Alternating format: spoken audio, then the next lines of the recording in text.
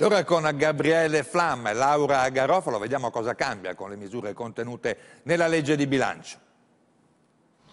270 pagine di maxi emendamento per circa 30 miliardi di risorse. La manovra economica sta tutta lì dentro. Due i capitoli chiave, reddito di cittadinanza e quota 100 sulle pensioni, ridimensionati di circa 4 miliardi e mezzo rispetto alla prima versione. Ora quota 100 costa 4 miliardi, il reddito di cittadinanza 7,1. Le risorse ci sono, per sapere con certezza come funzioneranno bisogna aspettare gennaio e i provvedimenti specifici. Si partirà da marzo, garantisce il governo. La manovra spende 12 miliardi e mezzo mezzo per disinnescare gli aumenti dell'IVA nel 2019. Nel contempo rinvia i rincari al 2020, quando serviranno 23 miliardi per evitarli. È questa una delle clausole che ha sbloccato la trattativa con Bruxelles, insieme a quella che prevede di congelare 2 miliardi finché non sarà verificato a luglio che le spese non siano lievitate. E proprio per contenere le spese gli investimenti sono ridotti da oltre 9 miliardi in tre anni, previsti inizialmente a 3,6. Il governo assicura che le risorse verranno recuperate sotto forma di fondi europei e finanziamenti straordinari.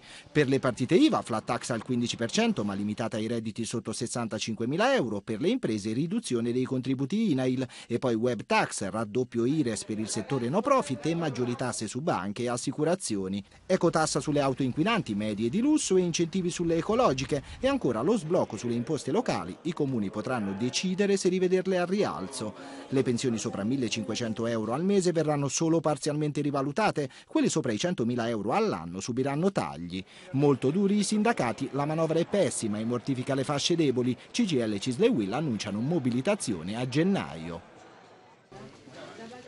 Tra i provvedimenti c'è anche una nuova definizione agevolata per chi ha debiti con il fisco e può dimostrare di non aver pagato per difficoltà economiche. Per accedere alla sanatoria insieme alla domanda bisognerà presentare il modello ISEE che servirà per accertare la situazione reddituale della famiglia e per calcolare l'importo da versare al fisco. Le norme riguardano le cartelle esattoriali affidate all'Agenzia delle Entrate e prima a Equitalia fino al 31 dicembre 2017.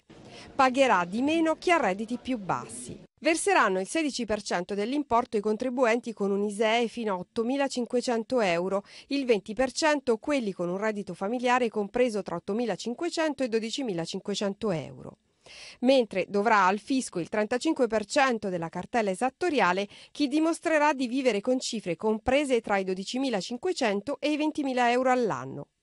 Come nelle precedenti definizioni agevolate saranno azzerati sanzioni e interessi di mora.